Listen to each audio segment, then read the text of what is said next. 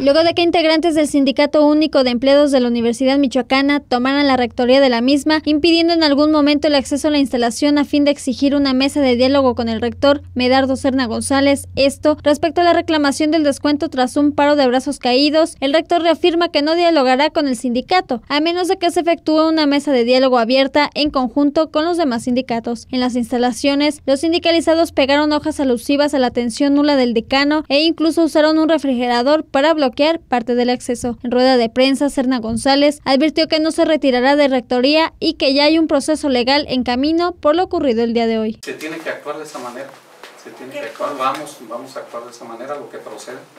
El equipo jurídico está trabajando en eso. Por su parte, el líder sindical, Eduardo Tena Flores, consideró que los descuentos se efectuaron de manera ilegal y que se están tomando las medidas pertinentes al respecto, tanto legales como de movilización. Se violenta la Constitución los acuerdos internacionales, las minutas internacionales, se, se, violentan los acuerdos de la Suprema Corte de Justicia de la Nación y se violentan muchísimas eh, eh, este, leyes al no otorgarnos la toma de nota y es lo que estamos nosotros defendiendo que se haga. Para Cambio Línea, Cera Sanabria.